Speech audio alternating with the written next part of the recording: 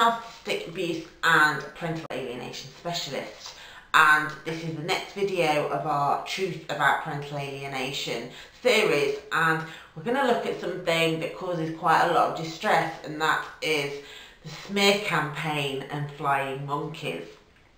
They go hand in hand, but you can't have one without the other so we're going to cover them in, in one video. So, so many people say, why? Why do they do it? what is their motivation and that's what we're going to look at. But one of the first things you need to understand is that the smear campaign started a long time before the end of the relationship. Narcissists will do anything they can to protect themselves. They will do anything they can to make sure everyone thinks that they're either a hero or the victim.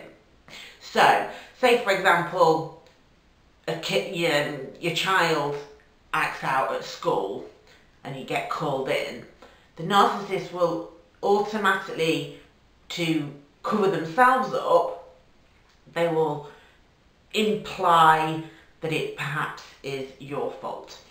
So this may be that they say, oh, they're upset because we had a row last night, I was angry because he's drinking too much, or um, we had a row because she wanted to go out all the time. And it's very subtle and they'll do it in a way that it seems like they're not having a go. So they won't, they won't say anything too concerning for people to get involved, but they'll say something that kind of is enough to lay a seed. Because essentially what they're doing is they are trying to get people to create a hypothesis of you. They, they, want everyone to have an opinion of you as a certain way. So it may be that you've got a drink problem, you've got mental health problems, you've got temper, and so they're planting those seeds, like I say, during the relationship to protect themselves. So they're gathering, already gathering the flying monkeys around them. They're already making sure that people are looking at you in a certain light. And then what tends to happen is as things unfold, your natural behaviour, which might be anger, frustration, upset, that all adds as proof of that hypothesis. So say, for example, they said, oh, you've got a mental health problem. And then two weeks after they said that, you turn up for school uh, to pick your kids up and you haven't had a shave or you haven't washed your hair School will then go, oh, they said they had mental health problems, maybe they're having a relapse. So they, you see how it goes on and then when it all blows up and you're angry and frustrated and upset, they're, they're just going to think it's because you're mentally ill. They're not going to do it. So it's very clever how they create this. They build up this, this picture of you in everyone's mind, in all the flying monkeys' minds, so that when the inevitable happens and the relationship comes to an end, they already have everyone around them. They already have their army of people believing that you are a certain way. The second thing that it's important to remember is that a lot of what they say as part of the smear campaign is actually a projection of their own terrible behaviour. Again, this is all about protecting themselves. So they will say that you're this, you're that, you're the other, but actually it's them that's doing that. They are just projecting. So, because what they want is they don't want anyone to look here. They don't want anyone to look at them. So they're going, look over here, look over there. So there's a lot of misdirection and everyone will be so busy looking over here, over here, that they're not noticing what's going on right in front of their noses. And given what they've already created, given the start of that smear campaign, it just adds weight to what people are already believing. And this is why it can be so frustrating for you, is because you haven't done anything wrong, and yet no one can believe, no one believes you. Everyone's believing them, and you can't understand why. You can't understand why no one is listening to you. And this is why, that because they've already They've already got this idea that you're a certain way And so when the narcissist projects all of their behaviour onto you, it just fits in with their already formed opinion of you. Um, and so it it the more frustrating that becomes that no one's listening, the more you add weight to the argument. Um, and that's why it's so important to try and have a good support network and keep your emotions in check. Because ultimately, every time you lash out or get angry or do anything, you're confirming their beliefs. So it's when we say grey rock, we mean grey rock with everyone, everyone involved actually is just be calm, be very boring, don't react because every time you do, you're just you're confirming the hypothesis that they already have about you. And the final thing to remember is that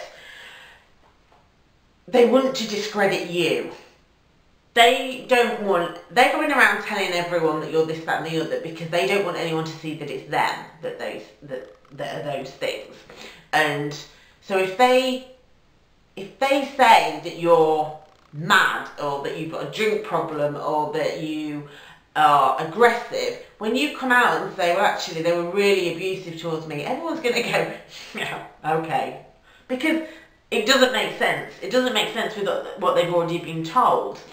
And so, again, this adds to your frustration because they They've already discredited you. They've already basically told everyone that you're the problem. You're the person who's all of these awful things.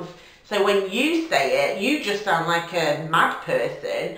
And so the distance between you and them becomes bigger and bigger because every little thing that you do adds to their proof and makes everyone believe them. So their, their credibility goes up and yours goes down. Even though you've done nothing wrong, it's very perverse, but it's how, how they do it. This is exactly how they do it. They create such a disparity between the truth that everyone falls for it because they've created this hypothesis and you add to it with your behaviour and like I say that that distance becomes bigger and bigger and bigger and then every little thing that you do you get you get told off for, you get um, judged for, you, you basically make your situation worse because of that distance. And again, going back to grey rock, don't give them that. Don't don't get involved. Don't try and defend yourself because if you can stay there, they will push and push and push. The narcissist will, if you give a narcissist enough rope, they will hang themselves. So it's all about you staying at this level and then they can act out and they will get more and more outrageous and slowly but surely people will start to see that. But what tends to happen, and this is why it's about enmeshment and um, cult-like status, is that people, the flying monkeys, they will have experienced or they and they're seeing how you're being treated and they won't want to go through that they won't want to be on the outside. They want to stay within the inner circle. And so they behave. They help them to discredit you to protect themselves. So they're probably being told um, or implied that they won't get to see the children. They've seen how they're treating you, so they know they're capable of this, and so they just go along with it. And it doesn't help you, but they keep within the inner circle out of fear, out of fear of being treated in the exact same way. And people who do stand up to them will get pushed out, they will get completely cut off. And so ultimately the narcissist only keeps people around them who are pandering to them, who will go along with them. And if anyone dares to step outside of that, they will be dismissed. And people don't want that. They want to stay within that inner circle. So one final important thing though is the narcissist will unravel.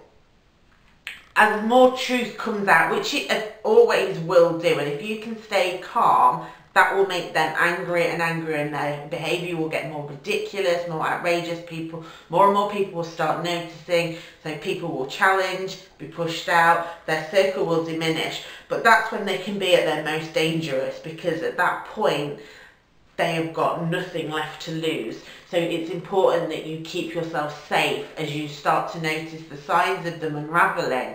Do keep yourself safe. I hope you found that helpful. It is a very difficult, difficult area of parental alienation because your natural response is to defend yourself. Your natural response when someone's taking your children or making decisions about your children and your life is to be angry and upset and frustrated and the longer the process goes on the more frustrated it, it, it becomes. And it's really hard to keep that in check because it is just your natural natural response to everything that's happening but it does make things worse. So it is so important that you try your hardest to in public in front of these people be a grey rock. Do not react. Do not be interesting. Just go along with it. And that's why we have support groups so that you can vent to us. You can come to us and you can go, oh, oh my God, they've done this and I need to say this because it's so making me so angry. We get it. We understand. We want to hear it. We want to help. But anyone out there, they're not going to. And so it's really important that you do try your hardest to just keep your natural emotions in check. Um, get support locally as well. Um, and just just make sure that you're strong. You're building your strength from within because ultimately you're going to need it to fight, fight this battle anyway. But it does take a lot of strength not to get angry and want to, want to lash out, want to take revenge. But like I say, they've built it up. So, because they know they're pushing all your buttons, they know that any normal person would react in that way. But because of how they've set it up, it looks as though you're acting bizarrely, when actually you're not at all. You're acting perfectly normal and natural. There we go. I really hope that that's helped. Like I say, it is a really difficult one. If you're going through this right now, you absolutely have my every sympathy. It is an impossible, seemingly impossible, but there are things you can do to help yourself. So do take care. Do reach out to us if you need anything. Please do contact me at the inquiries at thenurturingcoach.co.uk. I'd love to hear from you. And don't forget to like, comment and share. Thank you very much for your time. Bye bye.